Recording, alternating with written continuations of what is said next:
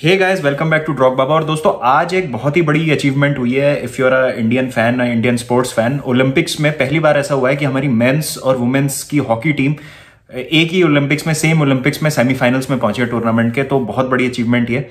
आज women's team ने Australia को हरा के वन नील से सेमीफाइनल में एंट्री की। कल मेंस टीम ने ग्रेट ब्रिटेन को हराया था थ्री वन बहुत ही इंटरेस्टिंग मैच हुआ था।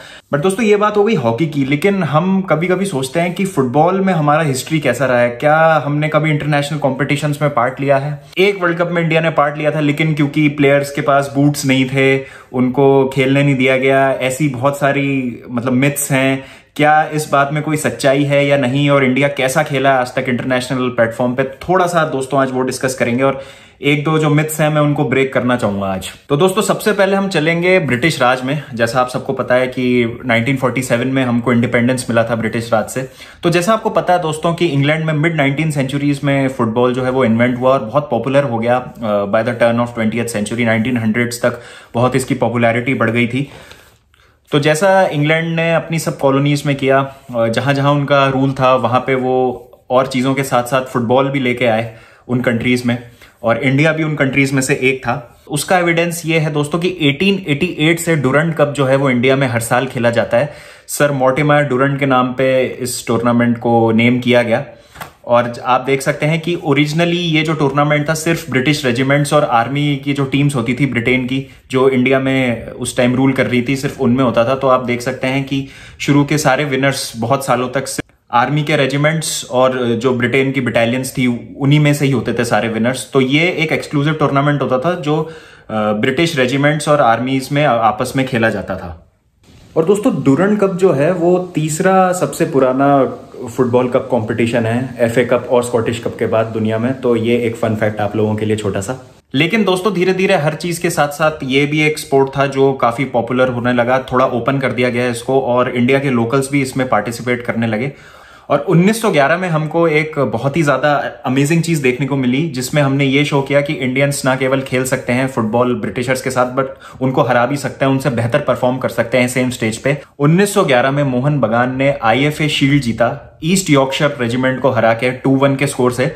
और वो एक बहुत बड़ी अचीवमेंट थी उस टाइम क्योंकि ब्रिटिशर्स को हमेशा लगता था कि इंडियंस जो है उनसे इन्फीरियर है, लेकिन हमने उन सबको उस टाइम गलत साबित किया और ये दिखाया कि ना कि इंडिया की टीम फुटबॉल खेल सकती है बट ब्रिटिशर से बेटर खेल सकती है। तो काफ़ी टाइम तक इंडिया की बहुत सारी टीम्स इंटरनेशनल टूर्नामेंट्स में जाती रही पार्टिसिपेट करती रही, लेकिन उसको एक रिकग्नाइज्ड इंडियन नेशन की तरह नहीं माना जाता था अनलेस 1947 जब हमको इंडिपेंडेंस मिली और हमारा पार्टीशन हुआ।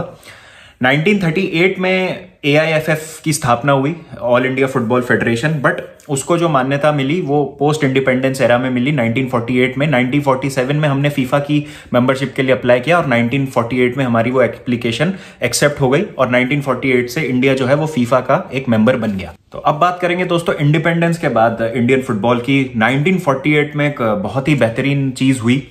1948 में जब इंडिया की टीम ओलंपिक्स खेलने गई, जो कि लंदन इंग्लैंड में ही हो रहे थे तो उन्होंने फ्रांस के साथ मैच खेला अपना पहला, जो कि वो बहुत ही क्लोज मार्जिन से टू वन के स्कोर से हारे, जिसमें इंडिया को दो पेनल्टीज भी मिली जो उन्होंने मिस करी। और सत्रह हज़ार फैंस के सामने इंडिया ने बहुत ही बेहतरीन प्रदर्शन किया, जिसकी वजह से इंडिया की टीम बहुत फ़ेमस हुई वहाँ पे। उस दौरान टीम को बुलाने से पहले एआईएफएफ ने कई सारे फ्रेंडली मैचेस और एग्जीबिशन मैचेस भी इंडिया के लिए ऑर्गेनाइज कराए और उसमें से एक मैच था दोस्तों, जिसमें इंडिया ने आईएक्स एम्स्टरडेम जी हाँ आईएक्स जिस क्लब को हम जानते हैं जो नेदरलैंड्स की सुपर पावर है फुटबॉल की, उसको इंडिया ने फाइव वन के मार्जिन से हराया और एक बेहतरीन जीत दर्ज करी। तो दोस्तों इंडिया का जो फुटबॉल था, काफ़ी अच्छी डायरेक्शन में जा रहा था, बहुत पॉजिटिव चीज़ें देखने को मिल रही थी। ऑल ओवर द वर्ल्ड काफ़ी तारीफ़ हो रही थी इंडिया की स्पेशली uh, जो फ्रांस के अगेंस्ट उन्होंने खेल दिखाया और जो उस दौरान उन्होंने फ्रेंडली मैचेस और एग्जीबिशन मैचेस खेले। अब दोस्तों बारी आती है 1950 वर्ल्ड कप की। 1950 वर्ल्ड कप हो रहा था ब्राज़ील में जिसका बहुत ही सिंपल सा क्राइटेरिया था क्वालिफिकेशन का। चौदह टीमों को पार्ट लेना था उसमें जिसमें से सात जो थी वो यूरोप की टीमें थी छह अमेरिकन कॉन्टिनेंट्स की टीम थी और एक स्लॉट दिया था इन्होंने एशिया की टीम को। और सबका अपना एक अलग टूर्नामेंट था, अपना एक क्राइटेरिया था क्वालिफिकेशन का। इंडियन टीम्स जिनमें क्वालिफिकेशन की लड़ाई होनी थी, वो थी बर्मा, इंडोनेशिया, फिलीपींस और इंडिया। अब दोस्तों, हुआ यूँ कि उस वर्ल्ड कप से बर्मा, इंडोनेशिया और फिलीपींस ने विड्रॉ कर लिया लास्ट मोमेंट पे। तो इंडिया को ऑटोमेटिक क्वालिफिकेशन मिल गया। उसके अलावा स्कॉटलैंड और टर्की ने भी कुछ अलग वजहों की वजह से इस टूर्नामेंट से विड्रॉ कर लिया। और वो जो दोस्तों एरा था, वो बेयर फुट फुटबॉल का था इंडिया का। इंडिया के जो प्लेयर्स थे, वो नंगे पैर खेलना पसंद करते थे। नंगे पैर से मतलब ये नहीं, दोस्तों की बिल्कुल ही पैर पे वो कोई प्रोटेक्टिव गेयर यूज़ नहीं करते थे। बूट्स ना पहनने के बावजूद वो सॉक्स और बैंडेजेस और एंकल सपोर्ट्स पहनते थे। बिल्कुल नंगे पैर नहीं थे, जिससे उनके पैरों में ज़्यादा चोट लग जाए। उस टाइम जो प्लेयर्स थे, बहुत ज़्यादा प्राउड फील करते थे अपने बेयर फुट खेलने के स्टाइल में। और ये था कि अगर बारिश होगी तो वो बूट्स पहन लेंगे और अगर हार्ड ग्राउंड होगा तो वो बेयर फुट खेलेंगे या नंगे पैर खेलेंगे। और एक मीडिया आउटलेट ने जब हमारे तब के कैप्टन ताले मेरन आओ से पूछा कि आप लोग बूट्स क्यों नहीं पहनते? तो उन्होंने इसका एक बहुत ही बढ़िया जवाब दिया। उन्होंने कहा कि इंडिया में हम फुटबॉल खेलते हैं और यहाँ पे आप लोग बूट बॉल खेलते हैं। तो काफ़ी मतलब इंडिया की जो पॉपुलैरिटी बहुत ज़्यादा बढ़ रही थी और पूरी दुनिया में इंडिया को बहुत ज़्यादा लाइक किया जा रहा था एज अ फुटबॉलिंग नेशन और ऐसा नहीं है दोस्तों कि सारे प्लेयर्स जो थे वो नंगे पैर खेलना पसंद करते थे। जो 1948 में मैं मैच बताया आपको फ्रांस वर्सेस इंडिया जो ओलंपिक्स में हुआ था, उसमें तीन प्लेयर्स ने बूट्स पहने हुए थे। और हर प्लेयर के पास अपना एक पेयर ऑफ़ बूट्स था। तो दोस्तों, ऐसा नहीं था कि वो नंगे पैर किसी मजबूरी में खेलते थे, उनको पसंद था नंगे पैर खेलना और अगर बारिश हो जाती थी मिड गेम में और मैच के बीच में तो बूट्स पहन के भी आ जाते थे। तो दोस्तों, ये एकदम एक मिथ है, ये पूरी बकवास है। ऐसा कुछ भी नहीं है कि इंडिया की टीम जो है, वो बेयर आ गई, वो बेयर खेलने पर इंसिस्ट कर रहे थे। इसलिए फीफा ने उनको बैन कर दिया और इसलिए उनको खेलने नहीं दिया। हमारे पास बूट्स नहीं थे खेलने के लिए तो ये एकदम मिथ है दोस्तों। ऐसा कुछ भी नहीं है। मैं आपको रियल कारण बताता हूँ कि इंडिया ने उस वर्ल्ड कप में खेलने से मना क्यों कर दिया? तो दोस्तों, इसके लिए हमको थोड़ा सा और पीछे जाना पड़ेगा पिछले तीन वर्ल्ड कप में। पहला वर्ल्ड कप जो हुआ था, वो 1930 में हुआ था, फिर 1934 में हुआ, फिर 1938 में हुआ। 1930 में जो दोस्तों वर्ल्ड कप हुआ था, वो यूरुग्वे में हुआ था। तो दोस्तों, एक आपको बात ध्यान रखनी पड़ेगी कि 1930 का जो दशक था, उसमें इंटर कॉन्टिनेंटल ट्रेवल यानी एक कॉन्टिनेंट से दूसरे कॉन्टिनेंट में जाना बहुत ज़्यादा मुश्किल था, बहुत ज़्यादा एक्सपेंसिव था। उस टाइम लोगों के पास इतने साधन नहीं थे इस ट्रेवल को इजीली करने के लिए। 1930 का जो वर्ल्ड कप था, उसमें यूरोप की ज़्यादा टीमें थी नहीं। ज़बरदस्ती दो टीमों को खींच के लाया गया था यूगोस्लाविया और रोमेनिया और टॉप टीम्स जो थी, उस टाइम यूरोप की, जैसे कि इंग्लैंड हो गई जर्मनी हो गई स्पेन हो गई इटली हो गई, वो कोई भी उस टूर्नामेंट में नहीं खेला था। फिर उन्नीस सौ चौंतीस की बात करें तो दोस्तों वो हुआ था, वो टूर्नामेंट हुआ था इटली में। और उस टाइम फैशिज्म और मुसोलिनी का काफ़ी ज़्यादा होल्ड था।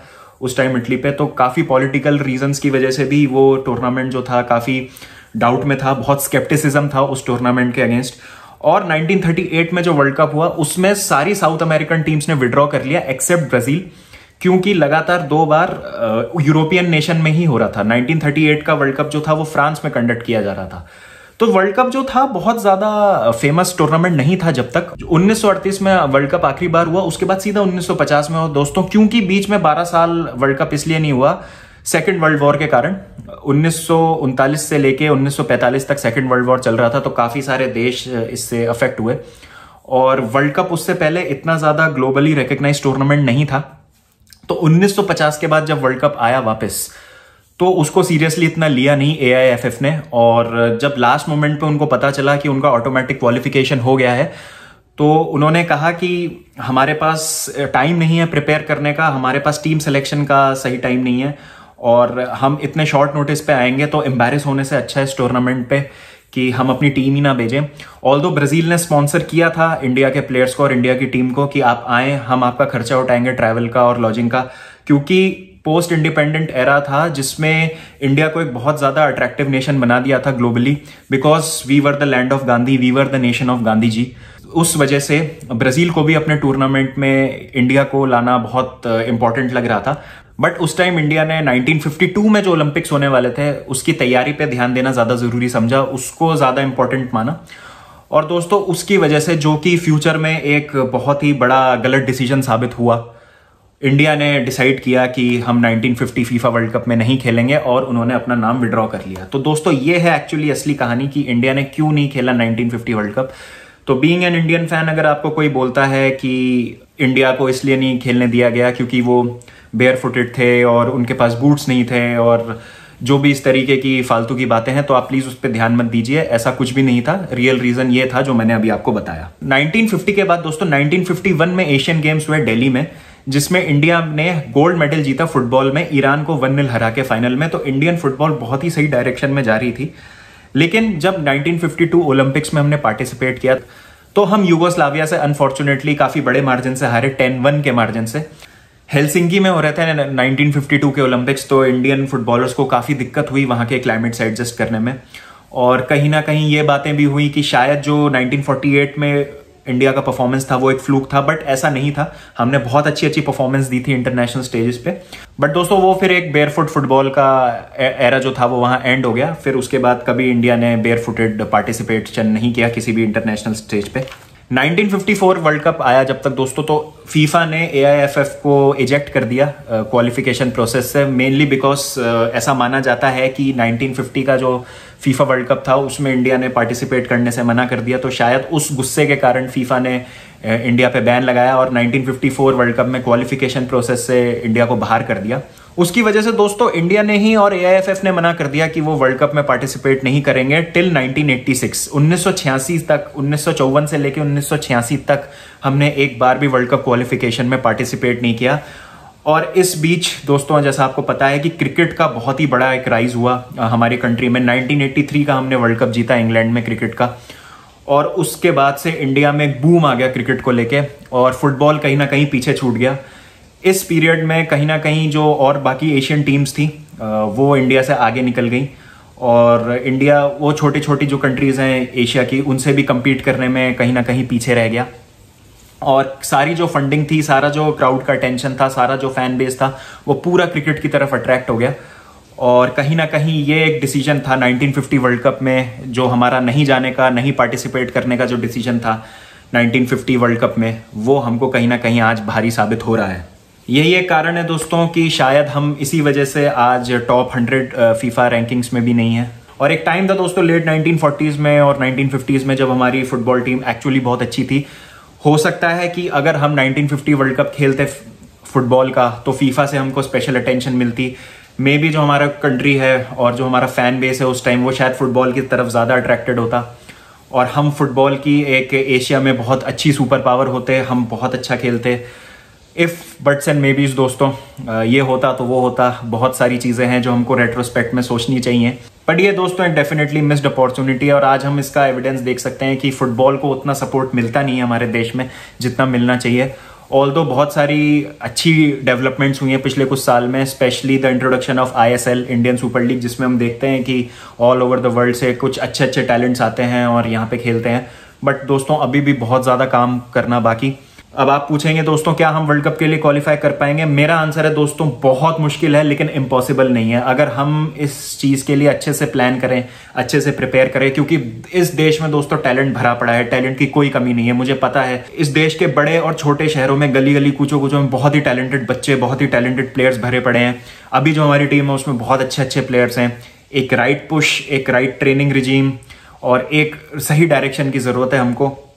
जिसके साइंस मुझे दिख रहे हैं अभी और मैं बहुत ज़्यादा पॉजिटिव हूँ। लेकिन हाँ मैं झूठ नहीं बोलूँगा गैप जो है हम में और बाकी इस चाहे एशियन टीम्स ले लें हम चाहे जैसे जापान और साउथ कोरिया की टीम्स ले लें। उनके प्लेयर्स जो हैं वो टॉप यूरोपियन टीम्स में खेलते हैं। जैसे आप साउथ कोरिया की बात करें तो Heung Min Son Tottenham Hotspur के लिए खेलते हैं। टकूमी मीना मीनो जो जापान के प्लेयर हैं, वो लिवरपूल के लिए खेलते हैं। तो इस लेवल के प्लेयर्स हैं इन टीम्स में। क्या हम उस लेवल तक पहुँच पाएँगे? मुश्किल है दोस्तों, लेकिन इम्पॉसिबल नहीं है, नामुमकिन नहीं है। अगर इस चीज़ पे अच्छे से काम किया जाए, हमारा, आपका, मेरा, सबका हमारा सपोर्ट हो, अच्छी फंडिंग दी जाए, अच्छी प्लानिंग की जाए तो बिल्कुल दोस्तों ये पॉसिबल है। और एक बार दोस्तों, अगर हमने वर्ल्ड कप खेल लिया तो इस देश का जो यूथ है, वो भी बिल्कुल अट्रैक्ट हो जाएगा बबल जो है, वो बर्स्ट हो जाएगा, और डेफिनेटली एक फुटबॉल को मच नीडेड पुश मिलेगा, जो कि अब वो, अभी वो लैक करता है डेफिनेटली जैसा आप देख रहे हैं दोस्तों, हम हम सब एकदम से हॉकी की तरफ़ अट्रैक्ट हो गए हैं पिछले एक दो दिन में, क्योंकि इंडिया की मेंस और वुमेन्स टीम दोनों ने हॉकी का सेमीफाइनल पहुँच गए हैं ओलंपिक्स के टोक्यो 2020 के। तो वो एक कारण है और हमको एक उम्मीद लगी है कि हाँ शायद हम एक मेडल ला सकते हैं हॉकी में इतने टाइम के बाद। 1972 के बाद इंडिया की जो मेंस हॉकी टीम है, पहली बार ओलंपिक्स के सेमीफाइनल में पहुँची है। और वुमेन्स टीम तो पहली बार खेलेगी सेमीफाइनल ओलंपिक्स में हॉकी का तो बहुत ही अमेजिंग अचीवमेंट है ये। और इसी तरीके का कोई अचीवमेंट हमको फुटबॉल में करने की ज़रूरत as far as India is concern तो दोस्तों लेट्स होप कि ऐसा कुछ जल्दी हो और हमको पूरे होल हार्टेडली इंडिया को सपोर्ट करने की ज़रूरत। तो चलिए दोस्तों आई होप आपको मज़ा आया होगा आज के वीडियो में, थोड़ी सी आपको क्लैरिटी मिली होगी। अगर मैंने कुछ पॉइंट्स मिस करें या कुछ मुझसे गलती हुई है तो आप प्लीज़ मुझे कमेंट सेक्शन में ज़रूर बताएँ। तो दोस्तों, अपना ध्यान रखें please take care of yourselves and let us keep the tiranga flying high